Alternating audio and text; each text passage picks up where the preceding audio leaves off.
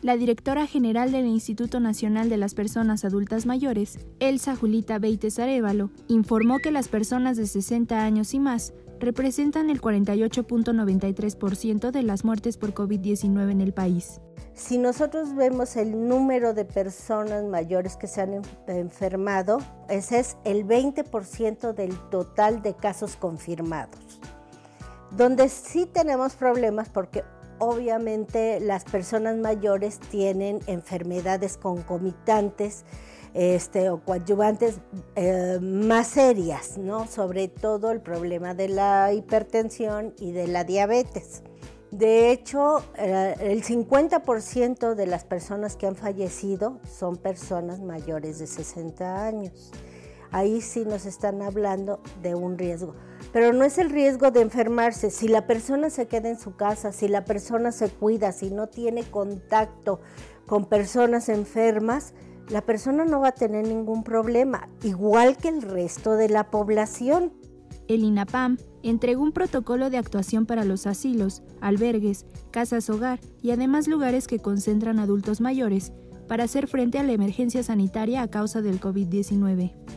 Evitar lo más que se pueda el ingreso de personas al, al espacio.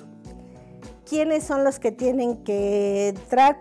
Pues el personal que atiende a las personas mayores, ahí sí no lo podemos evitar, pero sí estamos restringiendo totalmente la visita de familiares, ¿sí? Porque ahí sí no sabemos de dónde vengan ni en dónde hayan estado y todas estas situaciones pues sí nos preocupan.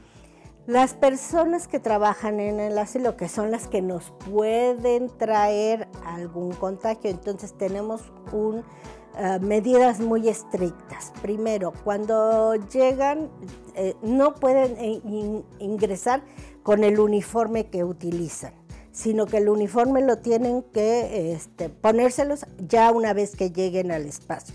Lavarse las manos, desinfectarse totalmente antes de tener contacto con las personas mayores.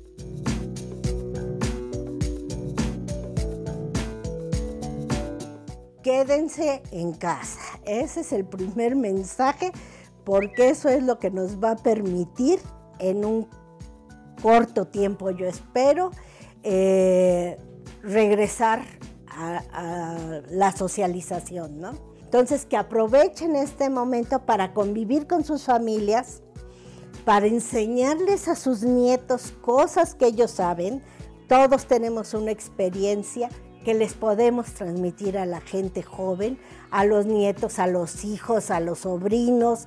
No todas las personas mayores somos abuelos, entonces con quien vivan, con quien estén, disfruten, disfruten este tiempo.